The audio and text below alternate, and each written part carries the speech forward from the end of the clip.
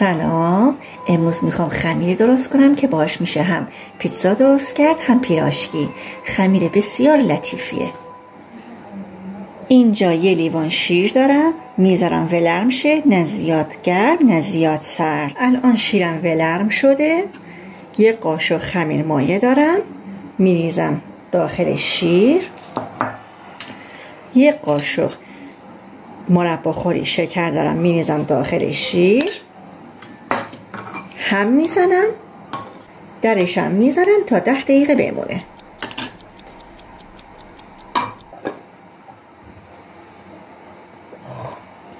ده دقیقه گذشته الان خمیر مایم آماده است. میرم که بقیه مواد آماده کنم. یه دونه تخم مرغ داشتم. بهش یک قاشق چای خوری نمک.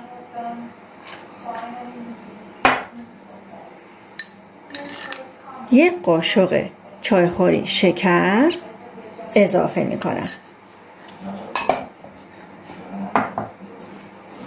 خوب هم می‌زنم. یک سوم لیوان هم روغن دارم. به اندازه هشت قاشق غذاخوری بهش اضافه می کنم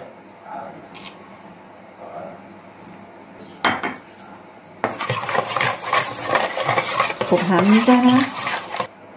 خمیر مایم که آماده شده بهش یک قاشق آرد میریزم. هم می‌زنم.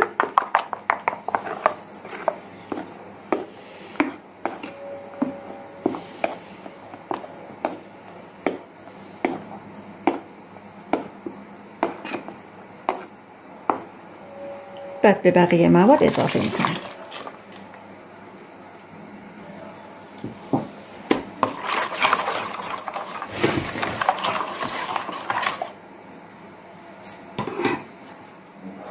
کم کم آرد اضافه می‌کنم.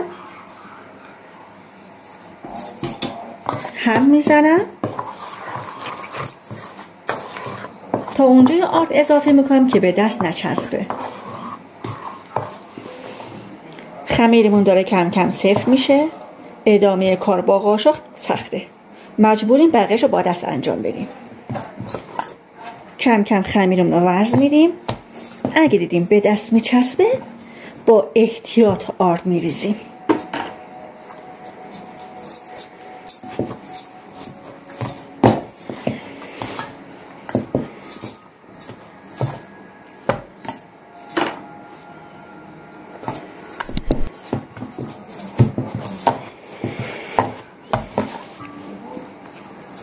خمیرمون در این حد رسیده. اصلا به دست نمیچسبه. ده دقیقه ورز میریم یا صد بار میکوبیمش.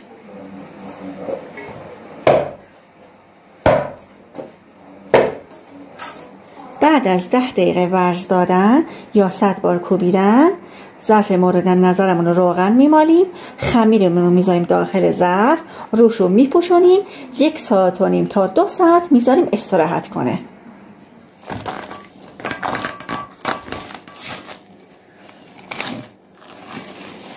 خمیرمون بعد از دو ساعت ور اومده. پفش رو می‌گیرم.